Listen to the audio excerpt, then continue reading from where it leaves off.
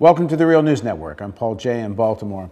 We're continuing our discussions about Turkey, have a better understanding of its role in the region and its domestic issues.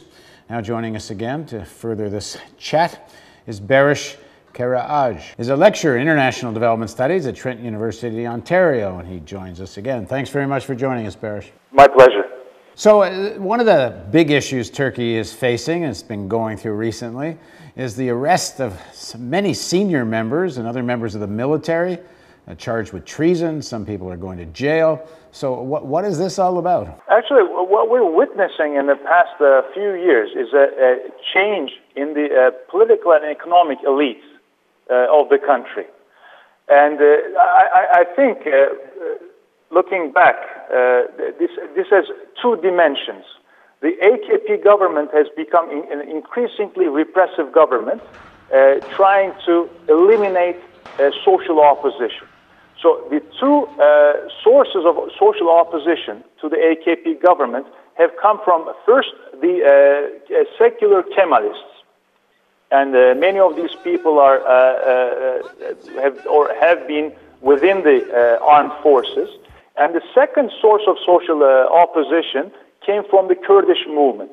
And uh, the uh, AKP government basically used two court cases, one of them uh, being uh, Ergenekon, uh, and the other one, the KC, KCK court case, to silence social opposition.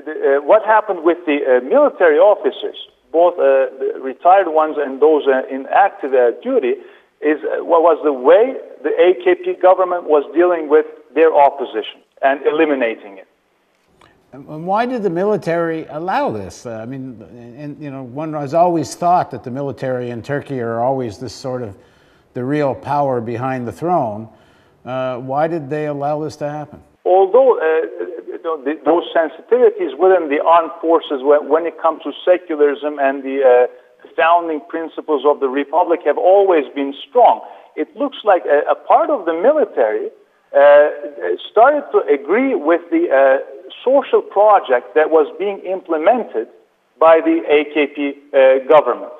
And this also might uh, have something to do with the, the incorporation of the uh, uh, armed forces into the existing neoliberal regime through uh, their investments uh, both in Turkey and abroad uh, through something, uh, through a, holding a corporation called OYAK. So this uh, holding corporation, which was built in 1961, which was uh, established in 1961, first, its initial objective was to make life easier for the officers in the face of economic hardships. Uh, for example, if there was an economic crisis, or uh, uh, you know, assist them with funds, or uh, help them with their retirements, etc. But particularly uh, after the 1980 military takeover, it uh, embarked on a, a number of investments, both in Turkey and later on abroad, and acting like a, a normal corporation with uh, the military uh, officers contributing, but at the same time having uh, shares. And this might have also helped in terms of incorporating at least some uh, parts of the uh, military, the armed forces, into the existing neoliberal regime. Mm. And so the, the younger, newer, up and coming officers uh, were willing to go along with that and thus get rid of the older ones. But is it, is it just the older generation that's been arrested? It, it is uh, mostly the uh, you know uh, people at the upper levels of the uh, of the command. But the, another thing is, of course, that we we need to pay attention to is what has been going on within the country in the last ten years.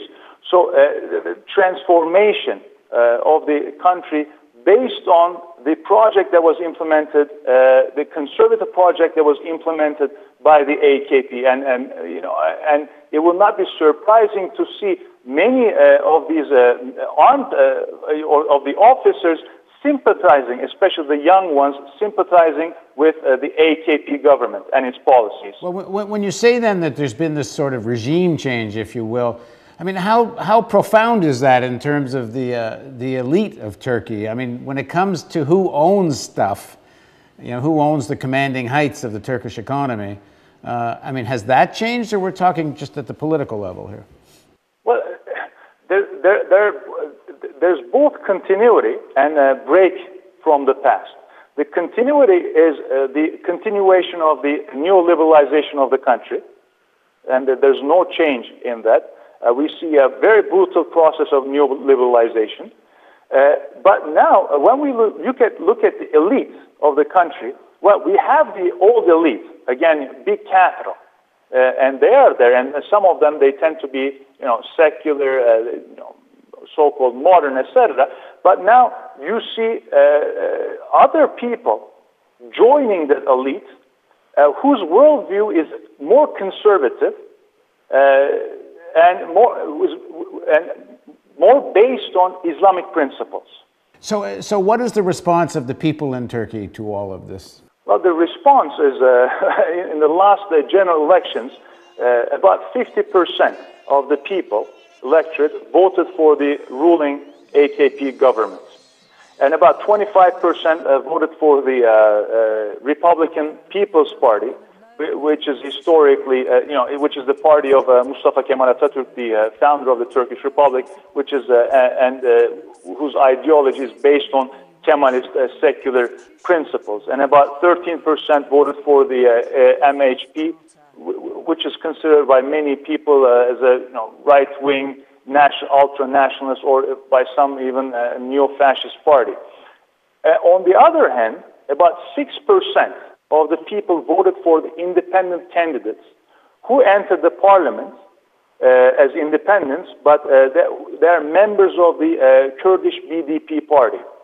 And the interesting thing is that the only uh, organized voice that focuses on uh, a different social project, uh, quite different from the neoliberal social project that has been introduced and promoted by the AKP government, comes from the Kurdish opposition.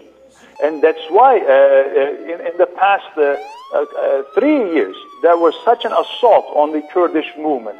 Uh, for example, uh, today, Turkey is the leading country in terms of the number of imprisoned journalists. there are 76 journalists, sorry, journalists in Turkish prisons which exceeds by far uh, the numbers in even countries like Iran and China.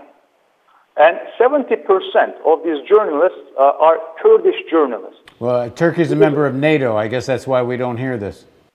Uh, well, very few people hear about these things. All right, thanks very much for joining us, Baris. And as it I was said, my pleasure. And Thank we're going to be doing more about Turkey in the coming days. And don't forget, we're in the midst of our fundraising campaign. If you give a buck, we get another buck in a matching grant until we reach 100,000. And if you want to see more of the real news in 2013, we need you to click on the donate button because if you don't, we can't do this.